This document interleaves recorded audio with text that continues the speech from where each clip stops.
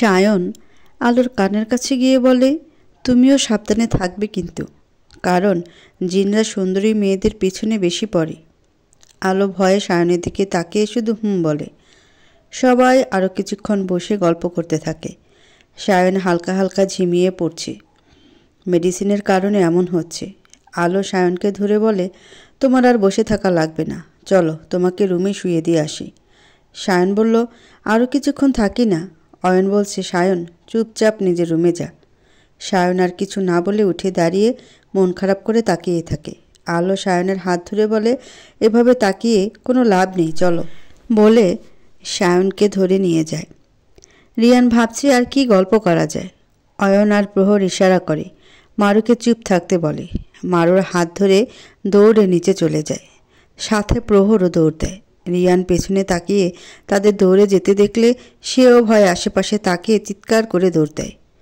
অয়ন প্রহর তাদের রুমের সামনে এসে দাঁড়ায়। রিয়ানও দৌড়ে এসে তাদের সাথে দাঁড়ায় আর ভয়ে হাঁপিয়ে হাঁপিয়ে বলে, এভাবে দৌড় দিলে কেন? অয়ন স্বাভাবিক ভাব করে বলে, কোথায়? আমরা দৌড় দিলাম। আমরা তো স্বাভাবিকভাবে হেঁটে আসলাম। তাই না প্রহর? প্রহর বলে উঠল, হুম, তাই তো। একদম স্বাভাবিকভাবে হেঁটে এসেছি। রিয়ান বলল, হুম, সেটা তো আমি দেখেছি। এখনই আমার যান বেরিয়ে যেত। প্রহর বলছে, হুম আচ্ছা আর গল্প করব না।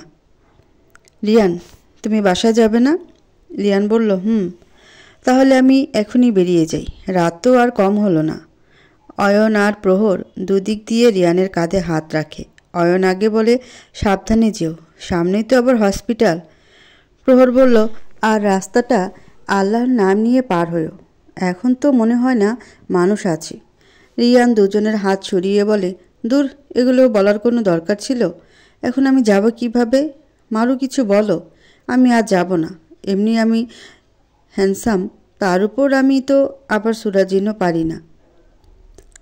প্রহর আর অয়ন দুজন দুজনকে দেখে হেসে বলে, ঠিক আছে, তাহলে তুমি ওই রুমটাতেই শুয়ে পড়ো। কাল রাতে যেও। রিয়ান বলে উঠল, হুম, ঠিক আছে। আমি গিয়ে শুয়ে পড়লাম। হুম, সবাই আমরা সবার রুমে যাই। আলো সায়নকে শুয়ে দিয়ে একটু ভয়ে বলছে, আমি এখন আসি। সায়ন উঠে বসে বলে, এত রাতে কীভাবে যাবে? চলো, আমি তোমাকে দিয়ে আসি। আলো বলে উঠল, না, লাগবে না। তুমি তো চোখই ঠিক মতো খুলতে পারছ না। তাছাড়া আমি এর আগেও অনেক রাতে রাস্তায় চলাচল করেছি। সায়ন বলল, হুম, কিন্তু আজ ভয় পাচ্ছ। এক কাজ করো, তুমি আজ এখানে থেকে যাও।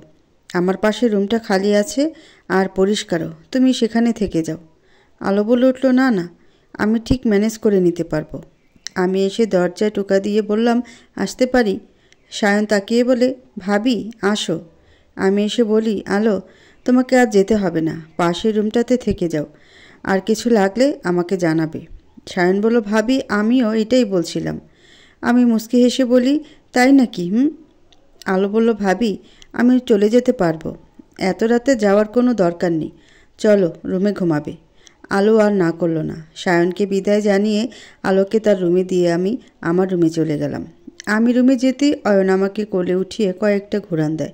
আমি অয়নকে শক্ত করে ধরে বলি, আরে আরে, কি করছ? অয়ন আমাকে বিছানায় শুয়ে দিয়ে বলে, তোমাকে না আমি আমার বেবিকে কোলে উঠিয়েছি। আচ্ছা বদমাস অয়ন আমার দিকে অন্যরকমভাবে তাকিয়ে আমার দিকে এগোতে থাকে। আমি আমার একটা আঙ্গুল দিয়ে অয়নের কপালে ধরে উল্টো দিকে ঠেলে সরিয়ে দিয়ে বলি, কি হচ্ছে এসব, হুম? অয়ন আমার হাত ধরে বলে, হয়নি তো কিছুই, এখন হবে। বলে আমার কাছে এসে আমার দু হাত বিছানার সাথে লাগিয়ে কিস করতে থাকে। প্রহর লুকিয়ে গিয়ে রিয়ানের দরজার সাইডে একটা ছোট বক্স রেখে দেয়, যেখান থেকে কিছুক্ষণ পরপর ভয়ানক আওয়াজ বের হবে। এরা লুকিয়ে রেখে দিয়ে প্রহর চলে যায়। রিয়ান ঘুমানোর চেষ্টা করছে কিন্তু এমনি তার ভয়ে ঘুম আসছে না। তার মধ্যে এই আওয়াজ শুনে সে লাভ দিয়ে উঠে বসে। আর কে কে করতে থাকে? কোনো জবাব না পেয়ে আর এমন আওয়াজ শুনে ভয়ে প্রায় রিয়ানের খারাপ অবস্থা। কিছুক্ষণ পরে প্রহরের দরজাকে বারবার ধাক্কাচ্ছে। প্রহর দরজা খুলতেই রিয়ান তাড়াতাড়ি তার রুমে ঢুকে গিয়ে সোজা তার বিছানায় শুয়ে পড়ে।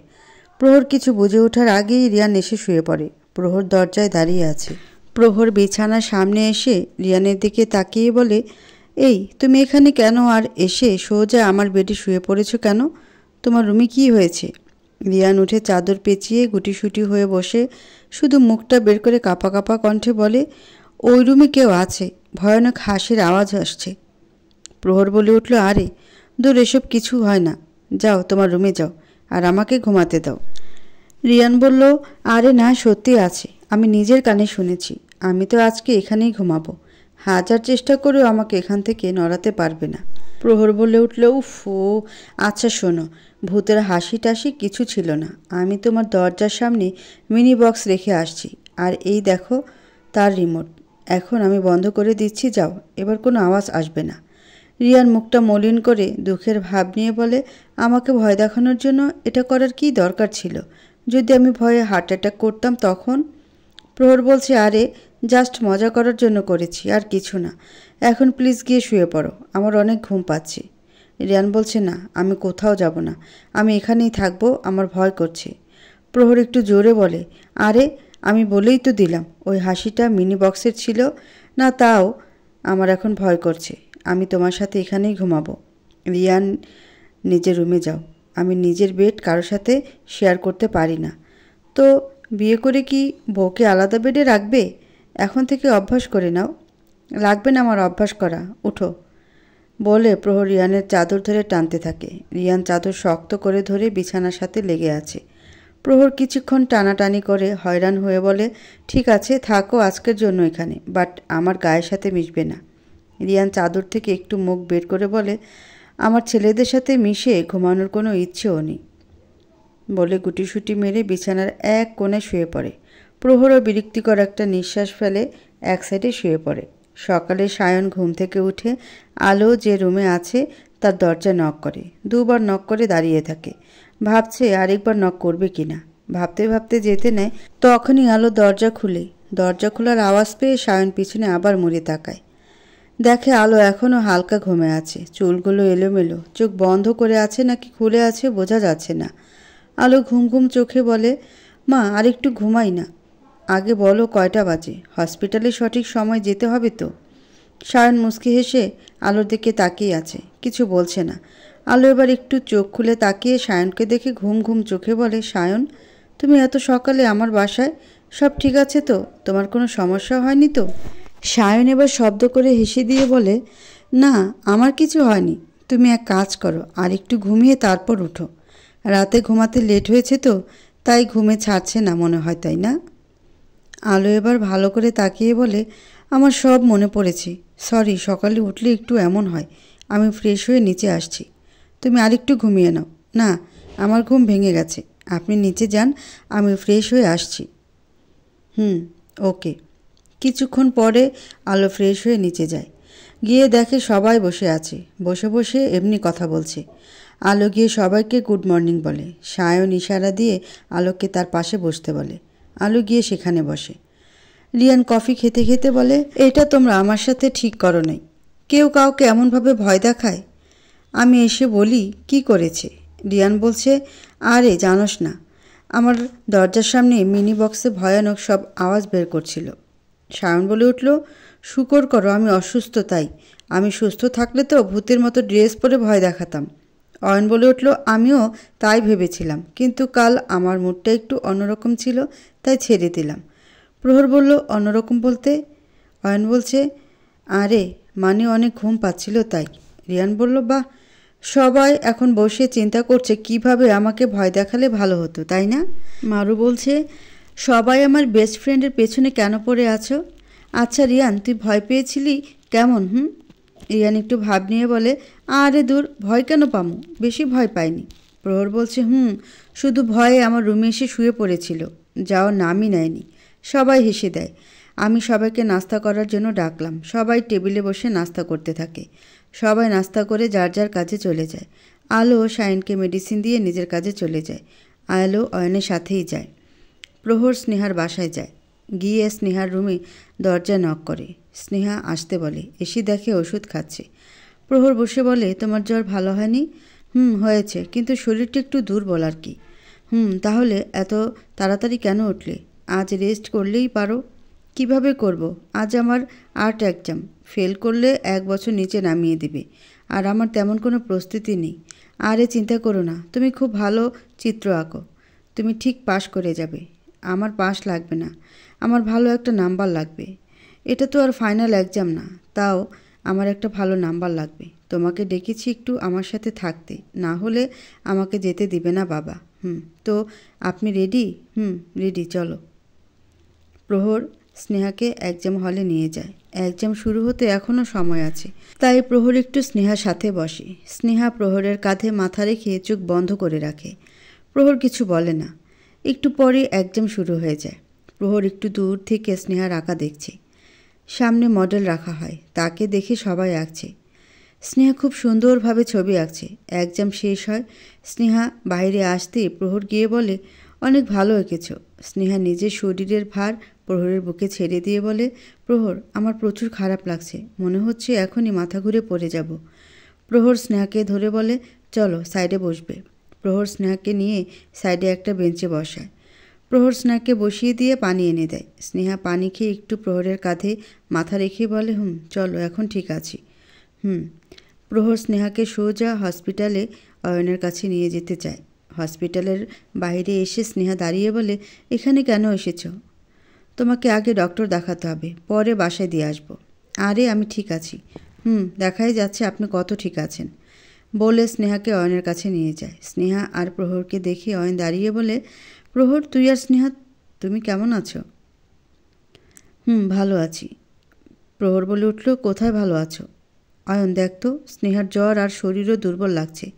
অয়ন বলছে, আরে, আগে বলবি না? বসো স্নেহা, আমি তোমাকে চেক আপ করছি। অয়ন স্নেহাকে চেক আপ করে বলে, বর্তমানে তোমার জ্বর একশো এক ডিগ্রিতে আছে। তার মানে পরে আরও বেশি জ্বর উঠে, তাই তো? আমি কিছু ওষুধ লিখে দিচ্ছি, খেয়ে নিবে। আর দুটো মেডিসিন এখানেই খেয়ে ফেলো। হুম, প্রহর পরে স্নেহাকে বাসায় পৌঁছে দেয়। স্নেহাকে ধরে ধরে তার রুম পর্যন্ত নিয়ে যায়। পরে ওকে বিছানায় বসিয়ে বলে, নিজের খেয়াল রাখবে, মেডিসিন খাবে আর এখন চুপচাপ শুয়ে থাকবে। স্নেহা মুস্কি হেসে বলে, বাহ, আমার জন্য এত চিন্তা, ভালো, খুব ভালো। তা প্রেমে পড়ে গেলে নাকি আমার? না, একটা ফ্রেন্ড হিসেবে যা করা উচিত আমি তাই করছি। এর থেকে বেশি কিছু আশা করো না। আমি এর থেকে বেশি কিছু না, অনেক কিছু আশা করি। আর আমি জানি আল্লাহ অবশ্যই পূরণ করবে। বিশ্বাস এটা আমার আজ পর্যন্ত আমরা যা আল্লাহর কাছে মন থেকে চেয়েছি, তাই পেয়েছি, আর এটাও নিশ্চয়ই পাব। শুধু শুধু আশা করে পরে কষ্ট পেও না, আমি এখন চলি, বলে প্রহর চলে যায়। স্নেহা হালকা হেসে বিছানায় শুয়ে পড়ে। এইভাবেই দেখতে দেখতে বিকেল হয়ে যায়। আলো সায়নের রুমে যায়। গিয়ে দেখে সায়ন বুকের উপর বই নিয়ে ঘুমিয়ে পড়েছে। আমি বইটা সরিয়ে নিই। সায়ন ঘুমের মধ্যে কিছু একটা বলছে। আমি শোনার জন্য নিজের চেহারাটা সায়নের দিকে এগিয়ে নিয়ে যাই। সায়ন বিড়বিড় করে কিছু একটা বলছে। হঠাৎ করে আমার নিঃশ্বাস সায়নের মুখে পড়ে, সে হালকা একটু চোখ খুলে। আমাকে দেখে মুসকে হেসে নিজের মুখটা একটু আমার দিকে উঠিয়ে আমার ঠোঁটের একটু পাশে একটা কিস করে আবার চোখ বন্ধ করে দেয়। আমি লজ্জায় লাল হয়ে গেছি। মনে আমার আনন্দের বন্যা বইছে। সায়ন হয়তো আমাকে ভালোবাসে এটা ভেবে। কিন্তু সায়ন চোখ বন্ধ করে বলে, আই লাভ ইউ দিয়া, ভালোবাসি দিয়া তোমাকে। কথাটা আমার বুকে ছুরির মতো গিয়ে বিঁধল গিয়ে। আমি জানালার পাশে দাঁড়িয়ে পাশে রাখা দিয়ার ছবিটা নিয়ে তার দিকে তাকিয়ে বলতে লাগলাম, জীবনের প্রথম কোনো মেয়েকে দেখে আমার প্রচুর হিংসা হয়। তুমি মরে গিয়েও সায়নের মন থেকে যেতে পারোনি। আজও তোমাকে সে ভালোবাসে, আর আমি সায়নের জীবনে বন্ধু হয়ে থেকে যাব। সে আমাকে আর ভালোবাসবে না। তার মনে জায়গা করতে পারব না, কারণ পুরো জায়গা জুড়েই তুমি আছো। এটা ভেবেই কেন জানি চোখের মধ্য থেকে কয়েক ফোঁটা পানি নিচে পড়ে গেল। একটু পরেই সায়ন জেগে যায়। সে আমার চোখে পানি দেখে তাড়াতাড়ি উঠে জিজ্ঞেস করে, কি হয়েছে আলো? তুমি কান্না করছ কেন? আমি কি নিজের অজান্তেই তোমাকে কোনো কষ্ট দিয়েছি? আমার হাত ধরে দেখতে দেখতে বলে আমি কি তোমাকে আঘাত করেছি? কোথাও ব্যথা পেয়েছ? দেখাও আমাকে। আমি কিছুক্ষণ নিস্তব্ধ হয়ে বসে থাকার পর মুখে হাসি এনে বলি, আরে, আমার কিছু হয়নি। আমার চোখে কিছু একটা পড়েছে, তাই চোখ থেকে পানি বের হচ্ছে। সায়ন আমার কাছে এসে বলে, দেখি, সে আমার চোখ ধরে দেখছে, কিছু আছে নাকি? আর বলছে, কোথায়? কিছুই তো দেখা যাচ্ছে না। আমি ওর দিকে তাকিয়ে বললাম, হয়তো বেরিয়ে গেছে, কিন্তু ব্যথা এখনও রয়ে গেছে। সব ব্যথা তো আর দেখা যায় না। সায়ন আমার চোখ ধরে ফু দিতে থাকে। জানি না কেন আমার এই মুহূর্তে সায়নকে জড়িয়ে ধরতে খুব ইচ্ছে করছে। নিজেকে আটকে রাখা কঠিন হয়ে যাচ্ছে। সায়ন ফু দিচ্ছে, আমি সায়নকে জড়িয়ে ধরি, কিছু না ভেবেই। সায়ন অবাক হয়ে যায়, আমার চোখ দিয়ে পানি বের হয়ে যায়। কিছুক্ষণ দুজনে চুপচাপ থাকি। তারপর সায়ন আমাকে জিজ্ঞেস করে, কি হয়েছে আলো? তোমার কি কোনো কারণে মন খারাপ? আমি সায়নকে জড়িয়ে ধরি কান্না ভরা কণ্ঠে উত্তর দিয়ে, হুম, অনেক। কেন, শুনি? জিজ্ঞেস করবেন না, প্লিজ। আমি বলতে পারব না। সায়ন মুস্কি হেসে আমার মাথায় হাত রেখে বলে, ঠিক আছে। কিন্তু তোমাকে হাসি খুশি মানায়। এমন মুখ আধার করে রাখলে আলো নাম রেখে লাভ কী, বলো? আমি সায়নকে জিজ্ঞেস করি আচ্ছা আপনি আমাকে নিজের কি ভাবেন? সত্যিটা বলবেন। আমার জন্য আপনার মনে ঠিক কোন স্থানটা আছে? সায়ন কিছুক্ষণ চুপ থেকে বলল, তুমি আমার একজন খুব ভালো বন্ধু।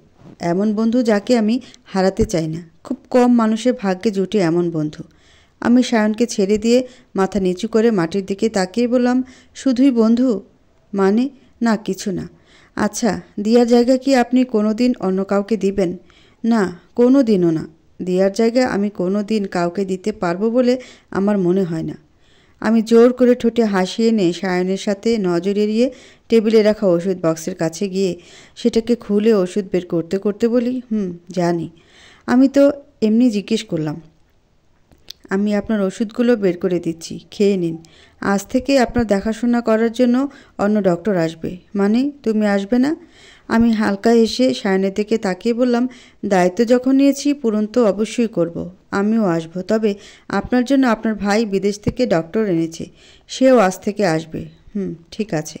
আমি ওষুধগুলো বের করে সায়নের দিকে ধরি আর এক গ্লাস পানি এগিয়ে দিই। সায়ন ওষুধগুলো খায়। আমি পানির গ্লাসটা টেবিলে রেখে বলি, আজ আমি আসি। আমি যেতে নেই, কিন্তু সায়ন আমার পথ আটকিয়ে বলে, আজ এত তাড়াতাড়ি চলে যাবে? গল্প করবেন আমার সাথে? আলো হালকা হেসে বলে, আমার জীবনটাই একটা গল্প হয়ে গেছে। মানে? কিছু না, সায়ন। সবার জীবনই এক একটা গল্প। কারও বা ভালো, কারও বা খারাপ। আর কারও সবটুকুই মিলিয়ে। সায়ন হেসে বলে, তুমি তো প্রহর ভাইয়ের মতো কথা বলছো। আমিও হেসে দিয়ে বললাম, হুম। আচ্ছা আমার একটু কাজ আছে, আজ আমি আসি। আর আসবে না আজ? রাতে আসার চেষ্টা করব। বলে আমি দরজা পর্যন্ত যেতেই সায়ন বলে ওঠে, আমি কিন্তু অপেক্ষা করব। আমি পেছনে তাকিয়ে কিছু না বলে শুধু মাথা নাড়িয়ে বের হয়ে যাই। সায়নের দরজা আটকিয়ে চোখের পানি আর থামাতে পারিনি। যাকে তুমি ভালোবাসো, তার মনে অন্য কারোর জন্য ভালোবাসা দেখাটা যে কি কষ্টের, সেটা বোঝানো যাবে না। আমি নিজের চোখের পানি মুছে যেতে নেই। মারো ভাবি এসে আমাকে বলে, কি হয়েছে আলো? তুমি কান্না করছ কেন? না ভাবি, কিছু হয়নি। আমি আসি। একটু কাজ আছে। বলে তাড়াতাড়ি চলে গেলাম। মারু সায়নের রুমে যায়। সায়ন আমাকে দেখে উঠে দাঁড়িয়ে বলে, ভাবি, আসো। আমি ভিতরে গিয়ে বললাম, তুমি কি আলোকে কিছু বলেছ? বা, তোমাদের মধ্যে কিছু হয়েছে? না ভাবি, তেমন কিছুই হয়নি। শুধু অদ্ভুত অদ্ভুত প্রশ্ন করছিল। কি প্রশ্ন শুনি? সায়ন আমাকে সব কিছু বলে। আমি সায়নকে জিজ্ঞেস করি, তুমি কি বলেছ? যা সত্যি তাই বলেছি। হুম, তোমার সত্যিটা আমি বুঝতে পেরেছি।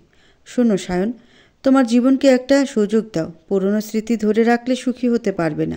আর দিয়াও হয়তো এটাই চায় যে তুমি নিজেকে একটা সুযোগ দাও। মানে ভাবি, আমি তোমার কথা বুঝতে পারছি না। সায়ন, আলো তোমাকে ভালোবেসে ফেলেছে। কি? হুম। আর কোথাও না কোথাও তোমার মনেও ওর জন্য কোনো একটা ফিল অবশ্যই আছে, যেটা তুমি বুঝতে পারছ না। ভাবি, তুমি যেমন ভাবছ তেমন কিছুই না। সায়ন, আমাকে না নিজেকে বোঝাও। আর নিজের জীবন আর আলোকে একটা সুযোগ দিয়ে দেখো। কীভাবে দেব? দেয়াকে ভুলতে পারছি না আমি। যদি তুমি কাউকে তোমার জীবনে আসার সুযোগই না দাও, তাহলে দিয়াকে ভুলবে কীভাবে? তুমি একবার আলোকে সুযোগ দিয়ে দেখো, আমার বিশ্বাস আলো তোমার মন ওর দিকে এনে ছাড়বে। আমার কথাগুলো ভেবে দেখো। বলে আমি সেখান থেকে চলে যাই। একটু পরে অয়ন আসে। বাচ্চাদের কিছু সুন্দর সুন্দর পোস্টার নিয়ে। এগুলো আমার হাতে দিয়ে বলে, তুমি এগুলো বেডের সামনে লাগাও, আমি শাওয়ার নিয়ে আসছি। আমি পোস্টারগুলো সাইডে রেখে বলি, অন্যজনের বেবির ছবি কেন লাগাবো? আমি তো তোমার ছবি লাগাবো, যেন আমার বেবি একদম তোমার মতো হয়। আচ্ছা তাহলে এক কাজ করো, সেখানে তোমার ছবিও লাগিয়ে দিও যেন তোমার মতো হয়। আমি আর কিছু বলার আগেই অয়ন বলে ওঠে, ব্যাস, এটা নিয়ে কোনো কথা হবে না। আমার ছবি লাগালে তোমারও লাগাতে হবে। এটা বলে ওয়াশরুমে চলে যায়। আমি পোস্টারগুলো হাতে নিয়ে ছবিগুলো দেখতে থাকি। বাচ্চাগুলো কি সুন্দর। আমি দুলনায় বসে আছি। অয়ন ওয়াশরুম থেকে বের হয়ে আমার কোলে শুয়ে পড়ে। কি হলো এটা? উঠুন, আমার কাপড় ভিজে গেল তো। আমি আমার বউকে ভিজাবো, শুকাবো, আমার ইচ্ছা। তোমার কি, হুম? হ্যাঁ আপনার বউ তো আমি। তো আমার ইচ্ছে থাকবে না? না, কারণ তোমার উপর তোমার থেকে বেশি অধিকার আছে আমার, বুঝলা? আচ্ছা ঠিক আছে। আপনার, আমার অতীতের কথা বলার সময় কি আছে স্যার এখন? ও সরি, ভুলে গেছিলাম। ঠিক আছে, তাহলে আজ শোনাচ্ছি। হুম, বলো। জানো, তুমি আমাদের নদীর হালকা পানিতে ফেলে দিয়েছিলে সেতু দিয়ে যাওয়ার সময়। আমি হাসতে হাসতে বললাম, তাই নাকি? পরে কি হলো? হুম, পরে আমি তো অনেক রেগে গিয়েছিলাম। আমি আর প্রহর কোনোভাবে বাসায় গেলাম। আমি তো শুধু ভাবতে লাগলাম, কীভাবে তোমাকে জব্দ করা যায়? অতীতে অয়ন বেলকুনিতে দাঁড়িয়ে আছে। প্রহর পিছন থেকে বলে, কী রে, এত কি ভাবছিস? অয়ন বলে উঠছে, কিছু না, শুধু ভাবছি আজকের কথা। আমার তো রাগ হচ্ছে। তোর রাগ হচ্ছে, আমার হাসি পাচ্ছে। বয়সের তুলনায় বুদ্ধিটা একটু কম হয়েছে মনে হয়। বুদ্ধি ঠিকই আছে, শুধু বাচ্চা মন মানসিকতা এখনও ছাড়ল না। ওকে তো আমি বুঝাবো। উল্টাপাল্টা কিছু ভাবিস না। আমি তো গল্পের মেন চরিত্রটাকে পেয়ে গেছি। অয়ন চাঁদের দিকে তাকিয়ে আসতে বলে, আর আমি আমার জীবনের। ভেবেছিলাম, কিন্তু এই মেয়েকে তো শিক্ষা না দিলে হবে না। কিছুক্ষণ পর প্রহর একটা বই পড়তে পড়তে ঘুমিয়ে যায়। অয়নও ভাবতে ভাবতে ঘুমিয়ে পড়ে। পরের দিন সকালে প্রহরকে কোনো রকমে একা বাড়িতে রেখে অয়ন বেরিয়ে পড়ে। মারুর কলেজে যাওয়ার সময় হয়ে গেছে। অয়ন আড়াল থেকে দেখছে, আমি একা একা যাচ্ছি। হঠাৎ করেই কিছু গুন্ডা টাইপ লোক আমার সামনে এলো। অদ্ভুতভাবে হাসছে। আমি একটু পিছিয়ে বলি, কি চাই আপনাদের? পথ কেন আটকালেন? এখনই যদি চিৎকার করি না, তাহলে সবাই এসে জড়ো হয়ে যাবে। ওরা বলল, এই নিরিবিলি জায়গায় বেশি মানুষ আছে বলে তো মনে হয় না। ওদের হাবভাব ভালো মনে হচ্ছে না। তাই উল্টো দিকে দৌড় দিতে গেলেই ওরা আমাকে ধরে ফেলে। মুখ চেপে ধরে, আমাকে গাড়িতে উঠিয়ে কোথায় নিয়ে যেতে থাকে? আমি শুধু আল্লাহ আল্লাহ করছি মনে। একটু পরে একটা নিরিবিলি জায়গায় এসে থামায়। জায়গাটা গাছপালায় ভরা। আমার তো ভয় হচ্ছে মান হারানোর ভয়। ওরা আমাকে টেনে একটু ভিতরে নিয়ে যায়। আমি ছটফট করছি। একটু পরে কেউ একজন একটা গোন্ডার হাত ধরে ফেলে। তাকিয়ে দেখি অয়ন। সে ওদের ধাক্কা দিয়ে ফেলে দেয়। ওরা বলতে থাকে, কে তুই? ভালোই ভালোই চলে যা। না হলে এখানে মেরে পুঁতে দিব। অয়ন বলে উঠল, তোরা চলে যা। না হলে আমি তোদের মেরে ফেলে দিব। মারামারি শুরু হয়ে যায়। অয়নকে একটা ঘুষি মেরে ফেলে দেয়। একটু রক্তও বেরিয়ে যায়। অয়ন মাটিতে পড়ে আস্তেই করে বলে, আব্বে, এ দেখি সত্যি সত্যি মারছে। আমাকে মারার জন্য টাকা দিছি নাকি? উঠে দাঁড়াতেই আরেকটা মারতে আসে। আমি তার হাত ধরে আস্তে করে বলি, আব্বে, ওভার অ্যাক্টিং হয়ে যাচ্ছে। সত্যি সত্যি কেন মারছিস? টাকা শুধু মার খাওয়ার দিয়েছি। মার দেওয়ার না। লোকটা অয়নের হাত ছাড়িয়ে একটা খুশি দিয়ে বলে, কে রে তুই? আর কিসের টাকা? কার টাকা? চুপচাপ চলে যা। অয়ন বুঝতে পেরে যায় এটা তার পাঠানো লোক নয়। এরা সত্যি মারুকে উঠিয়ে এনেছে। দুটো লোক মারুর হাত ধরে টানাটানি করছে। এটা দেখে অয়নের রাগ চরম পর্যায়ে পৌঁছে যায়। আর সে সবাইকে মারতে থাকে। যেমন মার খাচ্ছে, তার থেকে বেশি দিচ্ছে। গুন্ডাগুলো মার খেয়ে চলে যায়। মারু কিছু বলছে না। অয়ন সামনে দাঁড়িয়ে আছে আর মারু পেছনে। অয়ন পেছনে তাকায়। আমার কাছে এসে জিজ্ঞেস করে, তুমি ঠিক আছো তো? এই কথা বলার সাথে সাথে আমি আর নিজেকে আটকে রাখতে পারি না। সোজা জোরে জোরে কান্না করে দিই। অয়ন আমাকে থামানোর চেষ্টা করতে থাকে। আরে আরে, কান্না করো না। এখন সব ঠিক আছে। কেউ কিছু করবে না তোমাকে। আমার কান্নার আওয়াজটা একটু বেশিই বেড়ে যায়। চোখ বন্ধ করে কান্না করছি। অয়ন কোনো মতেই মারুর কান্না থামাতে পারছে না। অয়ন তখন আমার মাথায় হাত রেখে সান্ত্বনা দেওয়ার চেষ্টা করে, যেন আমি একটা বাচ্চা। আমি কান্না থামিয়ে অয়নের দিকে তাকিয়ে হিসকে তুলতে তুলতে বলি, অনেক ভয় পেয়ে গেছিলাম আমি। আপনি না এলে হয়তো এটা বলে আবার কান্না শুরু করে দিই। অয়ন আমার চোখের পানি মুছে দিয়ে বলে, এইসব কিছু চিন্তা করে লাভ নেই। তোমার কিছু হয়নি না হবে তাই একটু চুপ করে আমার সাথে চলেন। কোথায়? কেন? তোমার বাসায় যাওয়ার ইচ্ছে নেই নাকি? হুম, আমি বাসায় যাব। হুম, চলো। তোমায় দিয়ে আসি। মেয়েটা সত্যিই অনেক ভয় পেয়ে গেছে। বাইকে উঠে আমাকেও উঠতে বলে। আমি চুপচাপ পিছনে বসে পড়ি। অয়ন বাইক চালানো শুরু করলে আমি অয়নের কাঁধ খামচে ধরি। অয়ন আমাকে জিজ্ঞেস করে, কি হয়েছে? ভয় পাচ্ছ নাকি? আসলে আমি কখনো আগে বাইকে উঠিনি। কি? তুমি আগে কখনো বাইকে উঠোনি? এতে এত অবাক হওয়ার কে আছে? না মানে এমনি। তাহলে আমি তোমাকে আগে বাইকে উঠালাম। হুম। একটু আগে যেতেই আমি অয়নকে থামাতে বলি। অয়ন বাইক থামালে আমি নেমে যাই। অয়ন বলে, এখানে কেন নামলে? বাকি রাস্তাটা আমি একাই যেতে পারব। কেউ যদি আমাকে আপনার সাথে দেখে, তাহলে নানা ধরনের কথা বলবে। হুম, ঠিক আছে, তাহলে যাও। আমি যেতে নিয়ে আবার ফিরে এসে অয়নের সামনে দাঁড়িয়ে বলি, ধন্যবাদ, আমাকে বাঁচানোর জন্য। আর সরি, ওই দিনের জন্য। অয়ন ঠোঁটে হাসি এনে আমার দিকে তাকিয়ে আছে। ওনার তাকানো দেখে আমার কেন জানি লজ্জা করছে। আমি আবার বলি আপনার ঠোঁট কেটে গেছে। ওষুধ লাগিয়ে নিন। অয়ন শুধু মাথা নাড়িয়ে হ্যাঁ বলে, আমার কেমন লজ্জা লজ্জা লাগছে, তাই আমি তাড়াতাড়ি হেঁটে চলে এলাম। আমি বাসায় আসা পর্যন্ত উনি আমার কিছুটা দূরে দূরে ছিল। আমি বাসায় ঢোকার আগে অয়নকে হাত নাড়িয়ে বাই বলে তাড়াতাড়ি ভিতরে ঢুকে যাই। অয়নও হাসি মুখে চলে যায়। অয়ন যেতেই প্রহর অয়নের সামনে রাগীভাবে দাঁড়িয়ে আছে। অয়নের মুখে মারের দাগ দেখে প্রহর ব্যস্ত হয়ে বলে, কে মেরেছে তোকে? তাকে তো আজ মেরেই ফেলব।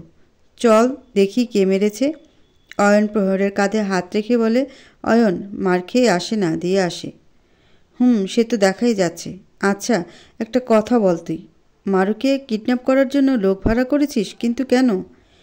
আরে হ্যাঁ মনে পড়ছে। শালারা একটাও যায়নি। কেন? তাদের তো আমি আমি না করেছিলাম। মানে তুই জানলি কীভাবে?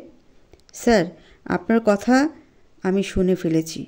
এখন বলবেন, আপনি মার কেন খেলেন? অয়ন সব কিছু প্রহরকে বলে। প্রহর রাগে বলে, শালাদের ধরে ইচ্ছে মতো মারিসনি? আমার তো এখন হাত চুলকাচ্ছে। আরে চিন্তা করিস না, মেরেছি ইচ্ছা মতো। হুম, দেখাই যাচ্ছে। আমি শাওয়ার নিয়ে বের হয়ে শুয়ে শুয়ে শুধু অয়নের কথা ভাবছি। ওর কথা ভাবতেই কেন জানি ঠোঁটে নিজের অজান্তে হাসি এসে পড়ে আর চেহারা লজ্জার ছাপ। ভালোবেসে ফেলিনি তো আবার? আর যদিও বেশে ফেলি, তাও আমার খারাপ লাগবে না। আমি বিকেলে অয়নের মামার বাড়ি গেলাম। সেখানে অয়ন আর প্রহর আমাকে দেখে তাড়াতাড়ি আসে। আমি তাদের দেখে একটা হাসি দিই। প্রহর বলল, তুমি এখানে? অয়ন বলছে, হয়তো আমাকে ধন্যবাদ বলতে এসেছ, তাই না? আমি একটু মুখ বেঁকিয়ে বললাম, হুম বয়েই গেছে আমার আপনাকে ধন্যবাদ বলতে। অয়ন বলছে, তাহলে এখানে কেন এসেছ? আমি আমার ফ্রেন্ডের সাথে দেখা করতে এসেছি। প্রহর আর অয়ন একসাথে বলে ওঠে, ও, আমার সাথে দেখা করতে এসেছ? আমি একটু কপাল কুচকিয়ে বললাম, আপনার আমার ফ্রেন্ড হলেন কবে? আমি তো মেঘার সাথে দেখা করতে এসেছি। মেঘা অয়নের মামাতো বোন। প্রহর বলে উঠল, মেঘা, আপনার বন্ধু হয়? কোথায়? আগে বলেননি তো? আমাদের কথাই বা হলো কয়দিন? অয়ন বলল, আপনি চাইলে প্রতিদিন বলতে পারেন। তখনই মেঘা বেরিয়ে আসে। আমি দুজনের মাঝখানে দিয়ে মেঘার কাছে চলে যাই। কী রে মেঘা এখন তো দেখি ঘর থেকে বাহিরেই যাস না। হবু হাজব্যান্ড মানা করেছে নাকি? লজ্জা একটু পেয়ে গেল বলে। দূর, ভাইয়ারা আছে এখানে, কি বলিস? আরে, বিয়ের কথা বলতে লজ্জা কিসের? তোর ভাইয়ারা কি বিয়ে করবে না নাকি? অয়ন আর প্রহর এসে বলে, ঠিক বলেছ, বিয়ে তো একদিন না একদিন করাই লাগবে, এতে লজ্জার কি আছে? আমি মেঘার হাত ধরে বলি, যারা বেসরম তাদের আবার লজ্জা আছে নাকি? চল রে মেঘা, আমরা উপরে গিয়ে কথা বলি। অয়ন বলে উঠল, আমিও আসি। প্রহর বলছি, আমিও আসছি। তুই গেলে আমি একা থেকে কি করব। অয়ন বলল, বসে থাকবি। প্রহর বলছে, আমাকে যেতে না দিলে আমিও তোকে যেতে দিব না। ও, হ্যালো, আপনাদের কাউকেই আমি আমাদের সাথে যেতে দিব না। এটা আমাদের ফ্রেন্ডের মধ্যকার, আপনারা কি করবেন? অয়ন বলে উঠল, তোমাদের সঙ্গ দিতে লাগবে না আপনাদের সঙ্গ, হুম? চল মেঘা। বলে আমি আর মেঘা চলে যাই। গিয়ে আমি মেঘাকে অয়নের বিষয়ে অনেক কিছু জিজ্ঞেস করছি। যতটুকু জেনেছি, ওর কোনো জিএফ ছিল না। যাক, শুনে ভালো লাগল। আমি মেঘাকে কোনোভাবে বুঝিয়ে অয়নের রুমটা খুঁজতে থাকি। একটা রুমে উকি দিতেই অয়ন পিছন থেকে আমার কানের কাছে এসে বলে, আমাকে খুঁজছ? আমি চমকে পিছনে তাকিয়ে বলি, আল্লাহ, আপনি? এভাবে কেউ কাউকে জিজ্ঞেস করে, তাও আবার হঠাৎ করে? আচ্ছা বললে না যে কাকে খুঁজছ? আমাকে? না, আমি আপনাকে কেন খুঁজতে যাব? তাহলে আমার কেন এমন মনে হচ্ছে? সেটা আপনার মনকে জিজ্ঞেস করেন। অয়ন, আমার একটু কাছে এসে বলে, সেটাই তো করছি। আমি একটু সরে গিয়ে বলি মানে? মানে আমার মন তো আমার কাছেই নাই। তো জিজ্ঞেস করব কীভাবে? আমার মন তো তোমার কাছে, তাই তোমাকে জিজ্ঞেস করলাম। কেন জানি কথা শুনে নিজেকে আটকে রাখতে পারলাম না। ঠোঁটে হাসিটা একটু বেশি এসে পড়ল। অয়নকে আমার দিকে তাকিয়ে থাকতে দেখে আমি হাসিটা বন্ধ করে দিই। অয়ন আমার দিকে সন্দেহের দিকে তাকিয়ে বলে, প্রেমে পড়ে গেলে নাকি আমার? আমি অস্থির হয়ে বললাম, জি না। যেতে নিয়ে পেছনে তাকিয়ে মুসকে হেসে বলি, পড়লে পড়তেও পারি, কোনো সমস্যা আছে? অয়ন একটা বড় করে হাসি দিয়ে বলে, একদমই না, আমি তো চাই তুমি পড়ো। তখনই প্রহর এসে বলে, কি বলিস তুই? মারু পড়ে গেলে ব্যথা পাবে না? আর এটা তুই কেন চাস? আজব অয়ন বলে উঠল, আরে, এ পড়াতে কেউ ব্যথা পায় না, তুই বুঝবি না। তোর বোঝার বয়স হয়নি। আমি হেসে চলে গেলাম। প্রহর কিছু বুঝতে পারছে না।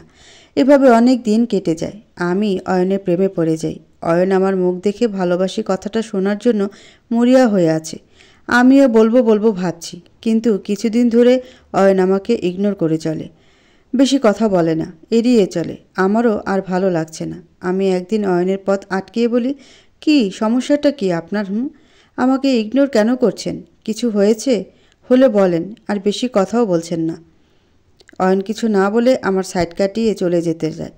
আমি অয়নের হাত ধরে বলি, কথা শেষ না করে যাবেন না, প্লিজ, আমার প্রশ্নের উত্তর দিন। অয়ন আমার হাত ছাড়িয়ে বলে, কি করব বলো? আমার বলার মতো কিছু নেই। আমি হালকা হেসে বলি, ও আচ্ছা এবার বুঝেছি, আপনি কেন আমার প্রতি রেগে আছেন? আপনি যেটা শুনতে চান, সেটা আমি আজই বলব। আমি কিছু শুনতে চাই না। বলে অয়ন চলে যেতে নেয়। আমি অয়নের হাত ধরে ফেলি। ধরে বলি, আমিও আপনাকে ভালোবাসি। I love you. বলে লজ্জায় চোখ নামিয়ে ফেলি। অয়ন কিছুক্ষণ আমার দিকে তাকিয়ে থাকে। কিছুক্ষণ পর আমি অয়নের হাতটা একটু ঝাঁকিয়ে বলি, কিছু বলো না কেন? অয়ন তাড়াতাড়ি তার চোখ সরিয়ে আমার এক হাত ঝাটকায় ছাড়িয়ে বলে, তোমাদের গ্রামের মেয়েদের এটাই সমস্যা। একটু হেসে কথা বললেই সংসার গড়ে ফেলো। একটু হেসে কথা কি বলেছি নিজেকে আমার লেভেলের ভাবতে শুরু করে দিয়েছ। আমি অয়নের কথার কিছুই বুঝছি না। সব আমার কাছে এলোমেলো লাগছে। তাও আমি মুখে জোর করে হাসি এনে বললাম, মজা করছ, তাই না, অয়ন? দেখো, এই সময় মজা ঠিক হচ্ছে না। অয়ন তুচ্ছ হাসি দিয়ে বলে, ইয়াহ, রাইট। আমি এতদিন তোমার সাথে মজাই করেছি। এখানে থেকে থেকে বোর হচ্ছিলাম, তাই ভাবলাম তোমার সাথে ফান করা যাক। কাল আমি এখান থেকে চলে যাব, তাই আর এই নাটকের কোনো দরকার নেই। আমার চোখ দিয়ে কয়েক ফোঁটা নোনা পানি গড়িয়ে পড়ে। আমি শান্ত গলা জিজ্ঞেস করি, এতদিন এত ভালোবাসা সবে কি মিথ্যা ছিল? কিসের ভালোবাসা? সব নাটক ছিল। আর নিজেকে একবার দেখো আর আমাকে দেখো। এটা ভাবার আগে নিজের চেহারাটা তো একবার আয়নায় দেখতে। নিজেকে আর সামনে রাখতে পারলাম না। এবার রাগে দুঃখে বললাম, আপনি কি আমাকে নিজের খেলনা মনে করেছেন যে যখন খুশি খেলবেন, এতদিন ভালোবাসি বলে বলে মাথা খারাপ করে দিয়েছেন? এখন আমি যখন বলছি যে আমি আপনাকে ভালোবাসি, তখনই পাল্টে নিচ্ছেন? কি মনে কি করে নিজেকে? ঠিক কথা, আমারই বোঝা উচিত ছিল। আপনার মতো ছেলেরা শুধু ধোকা দিতে পারে, ভালোবাসতে পারে না। কোনো দিন ক্ষমা করব না আপনাকে। I hate you. বলে কান্না করতে করতে চলে গেল। আমি তাকিয়ে তাকিয়ে শুধু নীরে যাওয়া দেখছি। আর কিছুই আমার করার নেই। নিজেকে সামলানো কষ্ট হয়ে যাচ্ছে। কতদিন এটার অপেক্ষা ছিলাম? অবশেষে বলল, কিন্তু আমার আর সেই খুশিটা রইল না। কারণ আমি প্রহরকে বলার আগে প্রহর আমাকে বলে, সে সে নাকি নীরকে ভালোবাসে। তাহলে আমি কি করে সেখানে আসতে পারি? ওর ভালোবাসা আমি কেড়ে নিতে পারব না। আমার কারণে প্রহরকে কষ্ট দিতে পারব না। আমি সেখান থেকে চলে যাই। বিদেশে চলে যাব আমি। যাওয়ার আগে মামাকে বলে যাই। উনি যেন নীরের মা বাবার সাথে প্রহরের জন্য কথা বলে। মামাও তাই করে। তার মা বাবা রাজি হয়ে গেছে শুনেছি। আমি যাওয়ার জন্য ব্যাগ গোছাচ্ছি। প্রহর আমার রুমে এসে আমার সামনে বসে আমার দিকে তাকিয়ে হাসছে। আমি ব্যাগের দিকে নজর দিয়ে বলি, হাসছিস কেন? প্রহর বলে উঠল, তো কি করব। মারু রাজি হয়ে গেছে। ভাবছি কিছুদিন পরেই আমরা বিয়ে করে নেব। কি বলি শয়ন মারু আমার হয়ে যাবে কিছু দিনের মধ্যে। আমি অন্যদিকে ফিরে হুম বলি। চোখে পানি এসে গেছে। প্রহর দাঁড়িয়ে বলে, কি, চোখের পানি লুকানোর চেষ্টা করছিস নাকি? আমি কিছুটা চমকে গিয়ে নিজের চোখ লুকানোর চেষ্টা করে বলি মানে কি তোর কথার? প্রহর আমার কাঁধে হাত রেখে বলে, অনেক হয়েছে, আর মিথ্যা বলার কোনো দরকার নেই। মারু আমাকে সব বলে দিয়েছে। আমি প্রহরের দিকে তাকিয়ে ওর হাত ধরে বলি মানে কি বলেছে? প্রহর দেখ ওর কথা তুই সিরিয়াসভাবে নিস না। প্রহর আমায় ছাড়িয়ে বলে, তুই মারুকে ভালোবাসতি, কিন্তু আমার কারণে মারুকে ছেড়ে দিতে চাইছিস। মারুও তোকে ভালোবাসে। আমার কারণে তুই নিজের ভালোবাসার ত্যাগ করছিস। যদি মারুর সাথে আমার বিয়ে হয়ে যেত, তাহলে নিজেকে কীভাবে ক্ষমা করতাম? আমি মারুর আগে তোকে ভালোবাসি। মারু তোর ছিল আর চিরদিন তোর থাকবে। প্রহর, বোঝার চেষ্টা কর। তুই বুঝ। যা, মারু রাগ ভাঙা। বিয়েটা আমার সাথে না, তোর সাথে হবে। মারু বাগানে আছে, তাড়াতাড়ি যা, না হলে দেরি হয়ে যাবে। আমি প্রহরকে জড়িয়ে ধরে বাগানের দিকে দৌড়ে যাই। নীর সেখানে মন খারাপ করে বসে আছে। আমি নীরের দিকে তাকাই। নীর আমার দিকে রাগীভাবে তাকিয়ে আছে। আমি শান্ত গলা জিজ্ঞেস করলাম, কি বলেছ? প্রহরকে তুমি? নীর রাগে জোরে বলে, কি বলব যা সত্যি তাই বলেছি? আপনি যেমন আমার সাথে অভিনয় করেছেন ভালোবাসার, ঠিক তেমনি আপনার বন্ধুও আমার সাথে বিয়ের নাটক করতে এসেছে, এটাই বলেছি। আমি মাথা নিচু করে বললাম, সরি, আমার ভুল হয়ে গেছে, আমি তোমার মনে কষ্ট দিয়েছি। নীর রাগ দেখাতে গিয়ে হেসে দেয়, আমি তার দিকে তাকিয়ে আছি। হাসি থামিয়ে বলে, আর রাগ দেখাতে পারব না, প্রহর আমাকে সব বলেছে। আপনি আমাকেই ভালোবাসেন, আর তুমি? নির্লজ্জা মাখা মুখে বলে, আমিও। অয়ন আমাকে শক্ত করে জড়িয়ে ধরে। প্রহর দূর থেকে সব দেখছিল।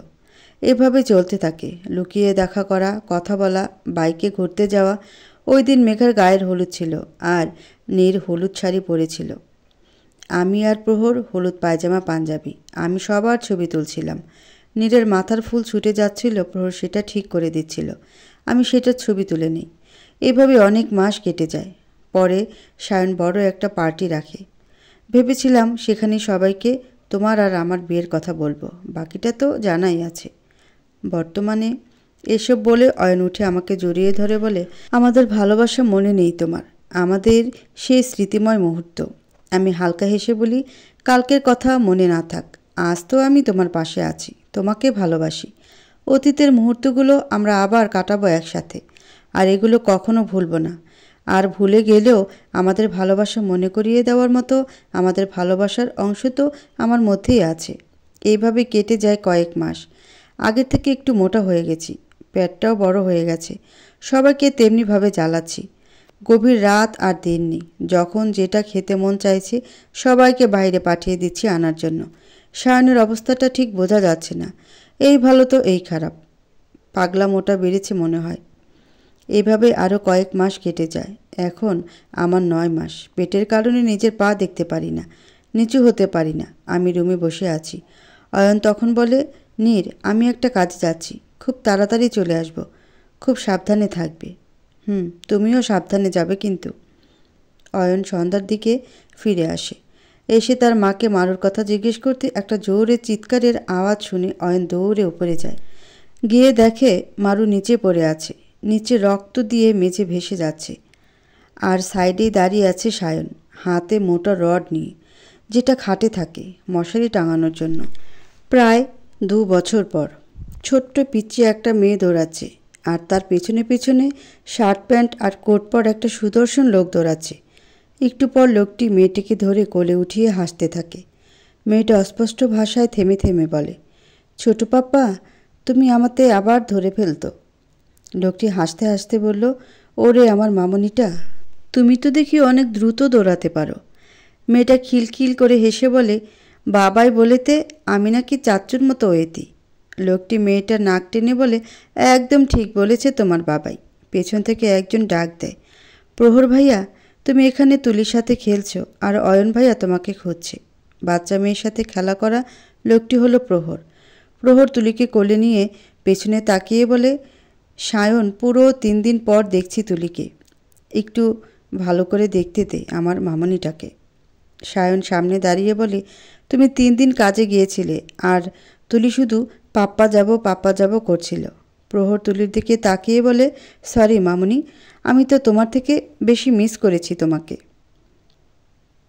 আপনাদের হয়ে থাকলে যাবেন ভেতরে। প্রহর সায়নের দিকে তাকিয়ে বলে, আজকে তোকে এত অন্যরকম লাগছে কেন? অন্যরকম মানে? মানে চুলগুলো লম্বা থেকে একদম জেন্ডার মেন কাটিং দিয়েছিস, আবার কোট প্যান্ট তাও আবার নীল কালার। সায়ন মাথা চুলকাতে চুলকাতে বলে, না মানে ভাবছি আজ আলোকে সোজা বিয়ের জন্য প্রপোজ করব। প্রহর খুশি হয়ে বলে ও হোয়াও দিস গ্রেট।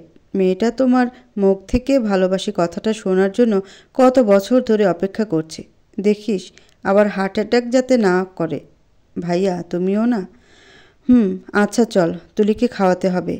ওর তো এখানে মা নেই, তাই আমাদের মধ্যেই কাউকে খাওয়াতে হবে। হুম, দুজনে বাড়ির ভিতরে চলে যায়। সেখানে অয়ন চুপচাপ মারুর ছবির দিকে তাকিয়ে আছে। প্রহর এসে অয়নের কাঁধে হাত রেখে বলে, কি, মারুকে মিস করছিস? অয়ন মারুর ছবির দিকে তাকিয়ে হালকা হেসে বলে হুঁ অনেক। এই সময় নীর থাকলে খুব ভালো হতো। আজ আমাদের মেয়ে তুলির জন্মদিন, আর নীর ওর সাথে নেই। সায়ন বলে উঠল, ভাইয়া, তুলির সামনে এসব কথা বলো না।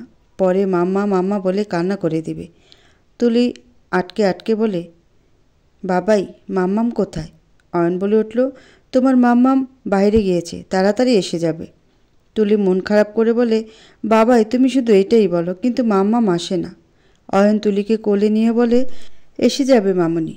আমি তোমার জন্য একটা সুন্দর ড্রেস এনেছি। চলো, দেখবে, চলো। প্রহর বলল, তুলিকে খাইয়ে তাড়াতাড়ি রেডি করে আন। মেহমান আসা শুরু করে দিয়েছে। অয়ন বলল, হুম আচ্ছা সায়ন, তুই বারবার দরজার দিকে কি দেখছিস? কারও আসার অপেক্ষা করছিস মনে হয়? সায়ন বলল, ভাইয়া, তুমিও শুরু হয়ে গেছো? বেশ অনেকক্ষণ পরে নিচে সবাই এসে যায়। সব মেহমানও এসে পড়ে।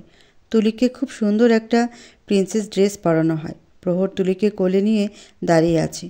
অয়নও তার পাশে দাঁড়িয়ে। স্নেহা এসে তুলিকে বার্থডে ওয়েশ করে। প্রহরের দিকে তাকায়। অয়ন তুলিকে কোলে নিয়ে প্রহরের দিকে তাকিয়ে অন্যদিকে চলে যায়। দুজন চুপচাপ দাঁড়িয়ে আছে। নীরবতা ভেঙে স্নেহা বলে, কেমন আছো? হুম, ভালো। তুমি? ভালোই আছি। হুম, শুনেছি বিয়ে করেছ? স্নেহা হালকা হেসে বলে, আমি কারোর জন্য সারা জীবন অপেক্ষা করল মা বাবা তো আর সেই অপেক্ষা বুঝবে না। তাহলে এই বিয়েতে তোমার কোনো মত নেই? তাহলে কেন করেছ? মানা করে দাও। আর কতবার কতজনকে মানা করব। আমিও হয়রান হয়ে গেছি। হুম, বিয়েটা কবে? বলেছিলাম তো দু সপ্তাহ পরে। ভুলে গেলে? তাহলে সত্যি বিয়ে করছ? স্নেহা আগ্রহ ভরা দৃষ্টিতে তাকিয়ে বলে, কেন? করব না? না করার কি কোনো কারণ আছে প্রহর? বিয়ে না করার কি কারণ থাকতে পারে? এবার স্নেহা একটু রেগে গিয়ে বলে, ঠিক বলেছ। তুমি তো আমার ফ্রেন্ড তাই না? তাহলে এক কাজ করো, আমার বিয়ের সব দায়িত্ব কিন্তু তোমাকে পালন করতে হবে। মণ্ডপ সাজানো থেকে বিদায় পর্যন্ত। বলে অন্যদিকে চলে যায়। প্রহর দাঁড়িয়ে ভাবছে, কি করা যায়? এই সময় সায়ন আলোর কাছে গিয়ে দাঁড়ায়। আলো বলে উঠল, কি হলো? সায়ন, কিছু বলবে? হুম, আজ তোমাকে অনেক সুন্দর লাগছে। আলো একটু লজ্জা পেয়ে বলে, থ্যাঙ্কস, তোমাকেও আজকে অন্যরকম লাগছে। তোমাকে কিছু বলার ছিল। কি, বলো? এতদিন যে কোনো পরিস্থিতিতে তুমি আমার সাথে ছিলে। কোনো দিন ছেড়ে যাওনি। আমাকে সামলিয়েছ। আজ আমি সুস্থভাবে শুধুমাত্র তোমার জন্য দাঁড়িয়ে আছি। বুঝতে একটু দেরি হলো, ভালো, আমি তোমাকে বেশি ফেলেছি। তুমি সব সময় বলতে না, দিয়ার জায়গা তুমি নিতে পারবে না? কথা ঠিক, কারণ তুমি আমার মনে তোমার জন্য একটা আলাদা জায়গা করে নিয়েছো। আলো হা করে সব কিছু শুনছে। তখন সায়ন হাঁটু গেড়ে বসে পকেট থেকে একটা আংটির বাক্স খুলে বলে উইল ইউ ম্যারি মি খুশিতে আলোর চোখে পানি এসে পড়ে। তার মুখ দিয়ে কোনো কথা বের হচ্ছে না। সে হাত বাড়িয়ে মাথা নাড়িয়ে হ্যাঁ করতে থাকে। সায়ন আলোর হাত ধরে আংটি পরিয়ে হাতে একটা কিস করে, তারপর উঠে আলোকে জড়িয়ে ধরে। সবাই হাততালি দিচ্ছে। অয়ন আর প্রহরও খুশিতে হাততালি দিয়ে সায়নের কাঁধে হাত দিয়ে কংগ্রাচুলেশন জানাতে থাকে। বেশ অনেকক্ষণ পরে কেক কাটার সময় এসে পড়ে। কেকের সামনে দাঁড়িয়ে তুলি শুধু মাম্মাম মাম্মাম করছে। তুলি, আমি মামামকে ছাড়া কেক কাটবো না। অয়ন বলল, মামনি, মাম্মাম এসে পড়বে। তুমি কেক কাটো। দরজায় গোলাপি কালার একটা শাড়ি পরে একজন দাঁড়িয়ে বলে, এসে গেছে মাম্মাম। তুলি মাম্মাম করে ডাক দিয়ে কোল থেকে নেমে দৌড়ে চলে যায় মেয়ের কাছে। মেয়েটা তুলিকে কোলে নিয়ে গালে আদরের পরশ দিয়ে দেয়। অয়ন বলল, নীর, তুমি এসে গেছো? বাবা, কেমন আছে? মারু অয়নের কাছে এসে বলে, বাবা, একদম ঠিক আছে। আর ওরা আমার সাথে এসেছে। সামনে তাকিয়ে দেখে মারুর মা বাবাও এসেছে। প্রহর বলে উঠল, একটু আগে আসলে দেখতে। সায়ন আলোককে প্রপোজ করেছে। মারু বলল, কি সত্যি? ইস, মিস করে গেলাম। সায়ন বলছে আচ্ছা এখন কেক কাটা হোক। কেক কাটার সময় অয়ন মারুর কানে বলে, বাপের বাড়িতে কেউ এতদিন থাকে? আমার কথা না? মানে তুলির কথা? একবারে মনে পড়ল না? আমি তো তুলিকে নিয়ে যেতে চেয়েছিলাম, কিন্তু মা বাবা? তুমি, সায়ন, নিয়ে যেতে দিলে কোথায়? আর দুদিন ছিলাম মাত্র। কি মনে করেছেন? মারো মারা গেছে? না, দু বছর আগে। মারুকে রক্তাক্ত অবস্থায় হসপিটালে নিয়ে যাওয়া হয়। কন্ডিশন খুব খারাপ। সবাই সায়নকে ভুল বুঝে। সায়ন চুপচাপ হসপিটালে দাঁড়িয়ে আছে। ডক্টর এসে বলে, প্রচুর রক্ত যাওয়ায় রক্ত প্রয়োজন। ও পজিটিভ রক্ত দরকার। সায়ন দাঁড়িয়ে বলে, আমার রক্ত ও পজিটিভ, আমি দিব। অয়ন বলল, প্রহরের রক্ত ও পজিটিভ, ও দিবে। তোর দেওয়ার দরকার নেই। প্রহর বলে উঠল হ্যাঁ ডক্টর, চলেন। সায়ন চুপচাপ মন খারাপ করে বসে থাকে। ভিতরে অপারেশন চলতে থাকে। অয়ন মারের অপারেশন দেখতে পারবে না। তাই বাইরে এসে বসে থাকে। চোখ দিয়ে পানি পড়ছে কিন্তু মুখে কোনো শব্দ নেই। বেশ অনেকক্ষণ পরে ডক্টর এসে বলে, আপনার মেয়ে হয়েছে। সে সুস্থ আছে। অয়ন ব্যস্ত হয়ে বলে, আর নীর, আমার ওয়াইফ? ডাক্তার বলে উঠল, হুম, তিনিও এখন ঠিক আছে। অয়ন শান্তির নিঃশ্বাস ফেলে বসে। মেয়েকে এনে অয়নের কোলে দেয়। অয়ন মুস্কি হেসে বেবির মাথায় একটা চুমু খায়। তারপর ওর কানে কানে আজান দেয়। প্রহরও চলে আসে। সবাই মেয়েকে কোলে নিচ্ছে। সায়ন শুধু দাঁড়িয়ে দেখছে। অয়ন মেয়েকে নিয়ে সায়নের কাছে গিয়ে তার কোলে নিতে বলে। সায়ন তুলিকে কোলে কীভাবে নেবে সেটাই বুঝতে পারছে না। শুধু হাত ঘোরাচ্ছে। অয়ন সায়নকে দেখিয়ে দেয়। ওর কোলে দিয়ে বলে, আমি জানি। আমার ভাই তার ভাবি আর তার ভাতে ভাতিজার কোনো ক্ষতি করতে পারে না। চোখে দেখা সব কিছু সত্যি হয় না। সায়ন বলে উঠল, হুম, তার জন্য তো ভাবিকে আমার রক্ত দিতে দিলি না। অয়ন বলল, কারণ এটা না। তোর অনেক স্ট্রং মেডিসিন নেওয়া লাগে, যেটা নীরের জন্য ক্ষতিকর হতে পারে, তাই দিতে দেয়নি তুই বেবিকে দেখ, আমি নীরকে দেখে আসি। অয়ন নীরের কাছে গিয়ে বসে, চোখের পানি ফেলে হাত ধরে বসে আছে। পুরো একদিন পরে মারুর জ্ঞান ফিরে। তখন সে বলে সে পাপস পিছলে পড়ে যায়। তার চিৎকার শুনে সায়ন আসে আর তখনই রডটা তার উপর পড়ে যেতে নেয় আর সায়ন ধরে ফেলে। তারপরে আর কিছু মনে নেই। বর্তমানে পার্টিতে সবাই অনেক আনন্দ করছে। স্নেহা মন খারাপ করে বসে আছে আর প্রহরও কেমন মুখ গোমরা করে কথা বলছে। মারও প্রহরকে ডেকে এক সাইডে এনে বলে, প্রহর, স্নেহা কিন্তু তোমাকে অনেক ভালোবাসে আর কোথাও না কোথাও তোমারও কিন্তু স্নেহার জন্য ফিল আছে, যেটা তুমি অ্যাকসেপ্ট করছ না। সুযোগ সবার জীবনে আসে না। তোমার এসেছে, সো কাজে লাগাও।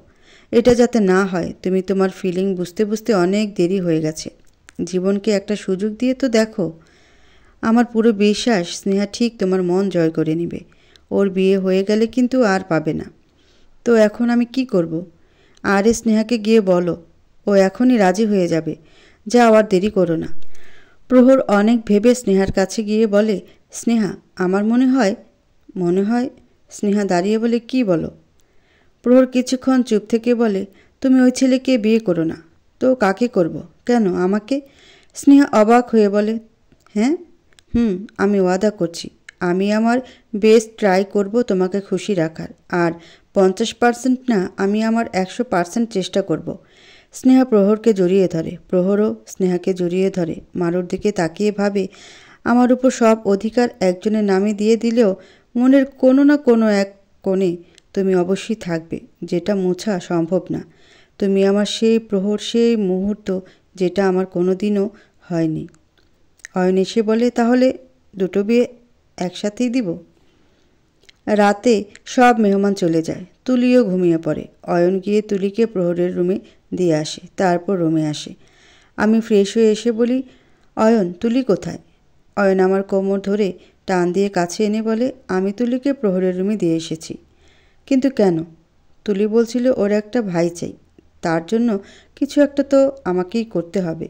আমি অয়নকে ধাক্কা দিয়ে বললাম, অয়ন, দিন দিন তোমার বয়স বাড়ছে না কমছে। যত সব ঢং, এমনভাবে দেখছ যেন আজ আমাদের নতুন বিয়ে হয়েছে? অয়ন আমাকে কোলে নিয়ে বলে, তুমি আমার তৃষ্ণা। ভেবেছিলাম বিয়ের পর এই তৃষ্ণা মিটে যাবে। কিন্তু না, যত দিন যাচ্ছে তোমার প্রতি আমার তৃষ্ণা তত বেড়ে যাচ্ছে। এই তৃষ্ণা কোনো দিন মিটবে না। তুমি এই আগুনের তৃষ্ণা।